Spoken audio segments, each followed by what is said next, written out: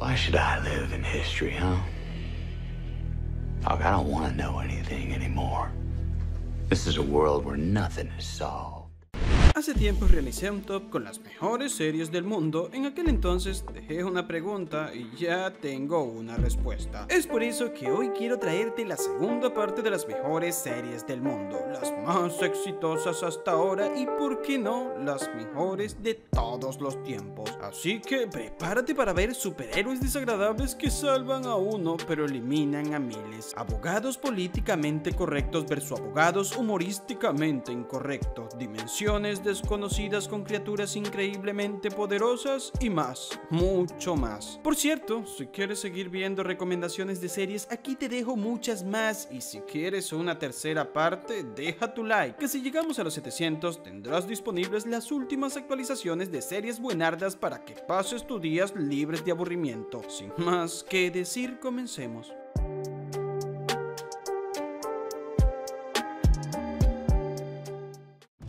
The Boys. People love superheroes. ¿Qué pasa cuando los superhéroes abusan de sus poderes en lugar de utilizarlos para hacer el bien? Bueno, The Boys es una adaptación televisada sobre la obra de Garth Ennis que presenta un mundo superheroico donde los héroes están corrompidos por la fama. Esta actitud cegada y de alta celebridad les lleva a poner en peligro nuestro planeta una vez más. Una batalla entre las personas corrientes y los superhéroes tiene lugar cuando estos últimos deciden desvelar la verdad sobre los siete y una corporación multinacional todopoderosa que maneja a los superhéroes oculta todo todos sus sucios secretos. Esta corporación es llamada Vogue. Suicide to go after the soups. We can use help stuffing now. The Mandalorian. Is the world more peaceful since the revolution? Ambientada después de la caída del imperio y antes de la aparición de la primera orden, este guerrero solitario, que es un cazarrecompensas, también es perteneciente a la ya legendaria tribu de los mandalorianos. Los mismos tienen reglas muy específicas y una de ellas es que no pueden quitarse en ningún momento su armadura delante de ningún ser humano, y esto debido a una legendaria histórica promesa. Una de las misiones que tendrá que llevar a cabo este guerrero mandaloriano aparte de las muchas y grandes luchas que tendrá que vivir en el espacio, es la de buscar a un pequeño para luego eliminarlo. Aunque decide incumplir esa misión, se lleva al pequeño y lo convierte en su aprendiz. La relación entre ambos y los viajes espaciales serán los protagonistas de esta serie, mientras que vemos cómo el pequeño niño, encontrado por el guerrero mandaloriano, es entrenado para conseguir volver con su tribu. You come here, little one. Have you been taking good care of him? Sherlock. Esta es la moderna actualización del mito de Sherlock Holmes, ambientado en Londres del siglo XXI. Sus insuperables habilidades de deducción y su arrogante distanciamiento emocional le convierte en el perfecto detective junto a su inseparable compañero John Watson. Dos hombres y un auto y nadie más. El conductor quería reparar su motor. No llega a nada. El cráneo es idéntico al de Ross. ¡Ay, dónde está! ¡Oh, Dios! ¡Qué cosa más dulce! En Friends, nuestros protagonistas son Rachel, Ross, Valero, Mónica, Joy y Phoebe. Ahora te hago una pregunta. ¿Me podrías decir en cuántas series son reconocidos inmediatamente los personajes principales solo por su nombre de pila? Pocas series han tenido el impacto cultural y duradero que ha tenido Friends. Las plataformas de streaming la resucitaron y el resultado no son miles, sino millones de nuevos fanáticos en todo el mundo y su popularidad no parece estar disminuyendo en un corto plazo. La lucha de estos veinteañeros para encontrar el amor y el éxito en la ciudad de Nueva York puede que no identifique a los jóvenes de hoy, pero los temas generales como por ejemplo tratar de triunfar en el mundo real siguen tan arraigados en la realidad hasta nuestros tiempos. El humor todavía da en el blanco después de todos estos años y los romances son tan valiosos como siempre. You're sweet.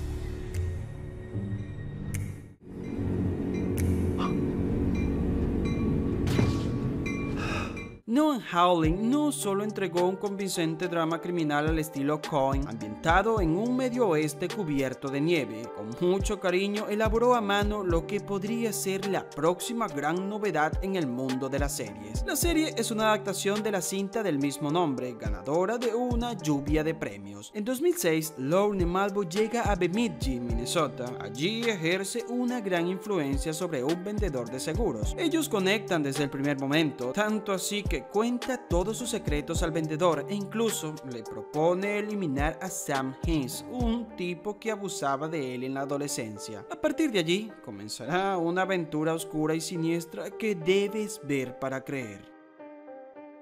Cielo, Eres como Peter. Mimit con los indígenas. Arrójales monedas mientras los saqueas. Es un inicio, habrá más, a menos que sigas rompiéndolos. No podemos negar que Breaking Bad fue una de las mejores series del mundo. La serie solo duró 5 temporadas desde el año 2008 hasta el 2013 y nos dejó a todos con ganas de más. Por eso, en el año 2015, el equipo y parte del elenco de Breaking Bad regresaron con Better Call Saul, una serie derivada de la precuela que se centró en la vida del infame y corrupto abogado de Breaking Bad, Saul Goodman, mejor conocido en esta serie como Jimmy McGill. La serie está ambientada en el año 2002, seis años antes de los acontecimientos sucedidos en Breaking Bad. Aquí veremos el pasado de este abogado con un humor políticamente incorrecto vinculado al mundo criminal que empieza a crear una importante red de contactos en los bajos mundos. La misma nos narra los acontecimientos que llevan a McGill a convertirse en Saúl antes de trabajar con Walter White, mejor conocido como Heisenberg, el narcotráfico más temido de Nuevo México. Chernobyl. All of the good we did. It doesn't matter. What does matter is that to them. Si no estuviste en coma en 2019, entonces es muy probable que quizá tu amigo más cercano citara las siguientes palabras con signos de interrogación. ¿Ya te vistes Chernobyl? Pues no puedes perdértela. Es muy buena serie. La cuestión es que quien te dijo eso tenía razón. Serie se ha ganado con creces su lugar en esta lista. Por si no sabes de qué trata, déjame contarte un poco. El 26 de abril del año 1986, una de las peores catástrofes humanas se cierne sobre la faz de la Tierra. La planta nuclear de Chernóbil, que por aquel entonces pertenecía a la República Socialista Soviética de Ucrania, explota causando uno de los mayores desastres medioambientales de la historia. Esto debido a que el núcleo del reactor se sobrecalentó. Aquí veremos a los hombres y mujeres que sacrificaron sus vidas para salvar el resto de Europa. Stranger Things.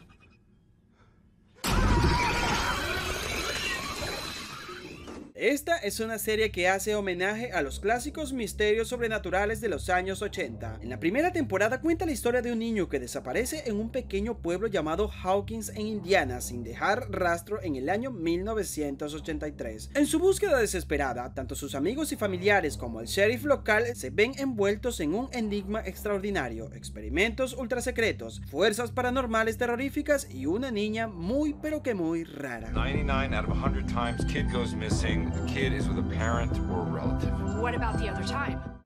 Black Mirror. ¿A quién estamos viendo? A Vical.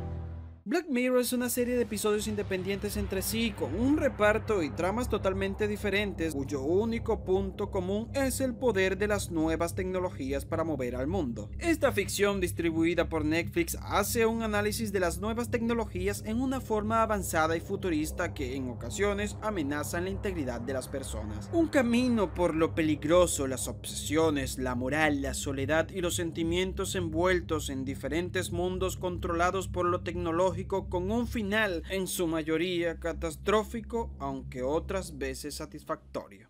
Todos se ríen de nosotros. Eso no es verdad. ¿Qué está pasando en sus mentes? This is what True I Detective. mean when I'm talking about time, and death, and futility. Esta ficción de HBO está escrita y creada por Nick Pizzolato y dirigida por Kari Fukunaga. Cada temporada se centra en un caso diferente dirigido y protagonizado por un grupo de detectives distinto. La primera temporada de True Detective se centra en dos detectives cuya vida se cruzarán cuando se reabra un caso sobre una extraña eliminación de hace 17 años. Ellos vuelven a investigar el difícil caso de un eliminador en serie en el que ya habían trabajado, obligados a regresar a un mundo tan siniestro el avance de la investigación y el mayor conocimiento mutuo les enseñan que la oscuridad reside a ambos lados de la ley. True Detective en el fondo es una serie que se alimenta de nuestro subconsciente para ir sembrando ideas y conceptos que terminará por explotar en algún momento de su metraje. Esto trata al espectador de forma inteligente y no se cree más de lo que es. Ahora ya tú conoces la segunda parte de las mejores series del mundo hasta ahora. Antes de irme, quiero recomendarte Surfshark, VPN que puede liberarte todas las películas, series y documentales que no puedes ver en tu país. La misma puede desbloquear contenido en plataformas como Netflix, Disney Plus, Amazon Prime y muchas más. Aprovecha y entra en el link que te dejo en el comentario fijado y obtén 83% de descuento y 3 meses totalmente gratis. Ahora sí, yo me despido. Un abrazo fuerte. Hasta mañana.